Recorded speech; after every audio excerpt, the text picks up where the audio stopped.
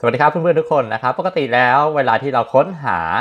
ข้อมูลอะไรนะครับ จากในอินเทอร์เน็ตหรือใน Google นะครับ ส่วนใหญ่เราก็จะค้นจากตัวอักษรนะครับแล้วก็ไปพิมพ์หาสมมติว่าจะค้นคำว่าทะเลภูเขาอะไรเงี้ยแล้วก็พิมพ์ไปนะครับแต่ว่าเวลาที่เดี๋ยวนี้นะครับเขามีเทคโนโลยีในการใช้รูปนะครับในการ search ค้นหาจากในอินเทอร์เน็ตได้เลยนะครับซึ่งจะทำให้เราสามารถหา ข้อมูลสถานที่ท่องเที่ยวหรือไม่ก็พวกสินค้าอะไรต่างๆนะครับ ก็จะสะดวกมากขึ้นกว่าการไปพิมพ์ข้อความเอาเองนะครับ แล้วก็น่าสนใจด้วยนะครับ วันนี้ผมเลยมาแนะนำแอปที่จะสามารถทำให้เราใช้ฟังก์ชันนี้ได้นะครับ บนโทรศัพท์มือถือนะครับ ชื่อว่า reverse image search Google นะครับ อ่า นี่นะครับ เดี๋ยวลองโหลดไปใช้งานกันดูเลยนะครับ อ่า แล้วกดเปิดแอปขึ้นมานะครับ อ่า แล้วให้มากดที่ปุ่ม มุมล่างขวานะครับที่มันเป็นรูปเครื่องหมายบวกเนี่ยฮะนี่นะฮะทั้งหมดมันจะอยู่ในนี้หมดเลยนะครับอ่าจะมี 2 ฟังก์ชันนะครับ ปุ่มแรกนะครับก็มันจะเป็นปุ่มที่เอาไว้ใช้ในกรณีที่เราจะเลือกรูปนะครับ ถ้าเราจะเลือกรูปจากที่เราดาวน์โหลดมาจากอินเทอร์เน็ตนะครับ หรือรูปที่เราเคยถ่ายค้างไว้แล้วนะครับ อยู่ในแกลเลอรี่ในโทรศัพท์ของเรานะครับใน SD card อะไรก็แล้วแต่เนี่ยให้ให้เลือกรูปบนนะครับ แต่ว่า ถ้าเราจะถ่ายรูปนบัตรนาวเลยนะครับ เราจะถ่ายเอาเองนะครับเราก็เลือกกล้องแล้วเราก็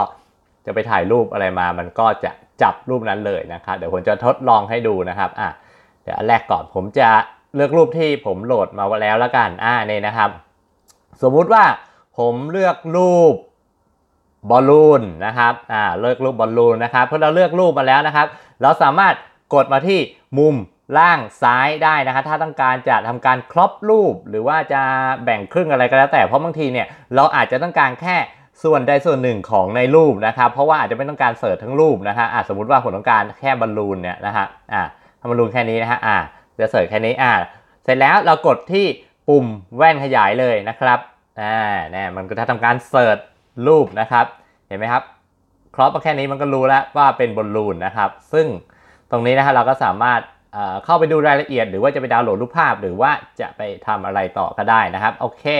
ต่อไปนะครับอ่าสมมติเดี๋ยวลองอีกรูปหนึ่งนะฮะลองลองดูเป็นรู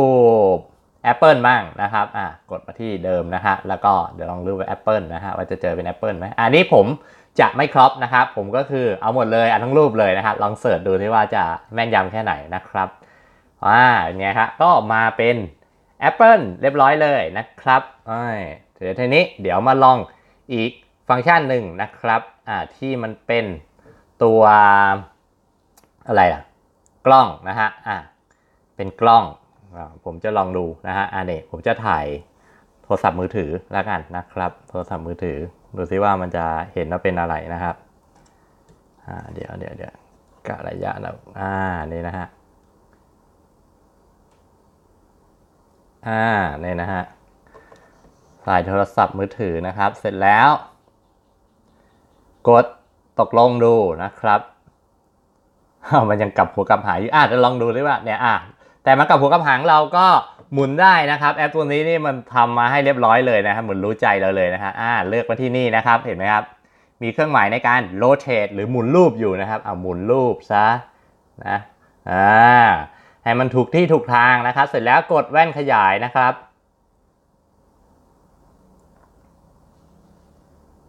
โอ้โหก็เป็นโทรศัพท์นะคะ แต่ว่าจะผิดรุ่นไปหน่อยนะครับ หรือว่าเจ้าตัว Redmi Note 5 มันคล้าย iPhone ไม่รู้เนาะจากอันนี้มันก็เลยออกมาคล้ายนะครับ โอเค แปลว่าระบบในการแยกแยกรูปเนี่ยถือว่าใช้ได้ในทีเดียวนะครับอะโอเค แล้วก็ในส่วนของ setting นะครับอ่ามีตรงไหนที่น่าสนใจบ้าง อันแรกนะครับ browser เนี่ย เขาจะมี 2 อันนะครับ in app browser ก็หมายถึงว่าเวลาที่เราทำการเสิร์ชรูปนะครับเขาจะใช้ตัวเปิดเว็บนะครับที่มันรวมที่มันอยู่มากับตัวแอปเลยนะครับ ข้อดีก็คือจะไวมากนะครับ แต่ว่าถ้าใครอยากให้แบบใช้เบราว์เซอร์ที่อยู่ในเครื่องของเรานะครับจะเป็น Opera เป็น Chrome เป็น Samsung Browser อะไรก็ดีนะครับหรือใครใช้ตัวไหนอื่นนะครับ ตัวอื่นเราก็มาเลือกที่ข้อ 2 นะครับ เราก็จะได้ใช้ตัวเบราว์เซอร์ที่ เราชอบแทน แต่ข้อเสียก็คือมันจะช้านะครับ เพราะฉะนั้นผมก็แนะนำว่าก็ใช้ตัว in-app browser ที่เขามีมาให้นี่แหละดีแล้วนะครับ อ่า ต่อไป Safe Search Filter นะครับ ตรงนี้ก็หมายถึงว่าเเวลาที่เราค้นหาบางรูปนะครับเเป็นการเซฟนะครับเเป็น ป้องกันความปลอดภัยไม่ให้แบบมีรูปอุบาทหรือแบบสัปดนอะไรอย่างเงี้ยโผล่ขึ้นมาในคำค้นหาของเรานะครับ เพราะนั้นมันก็เลยจะ strict ไว้เป็นค่า default นะครับ แต่ว่าถ้าใครอยากเอ้ยรู้สึกแบบโหมันปิดกั้นว่ะอะไรอย่างเงี้ยนะครับ ก็อาจจะเลือกเป็น moderate นะครับ ก็อาจจะแบบมมันความเข้มข้นของการปล่อยรูปมาก็จะ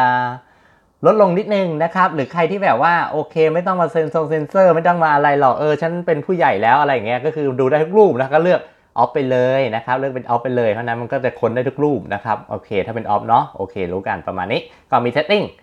เท่านี้นะฮะก็โอเค ขอให้รับประโยชน์จากคลิปนี้นะคะเห็นไหมคลิปนี้ประโยชน์นะคะอย่าลืมนะคะช่วยกดไลค์กดแชร์อย่าลืมกด subscribe พร้อมกดรูปปุ่ม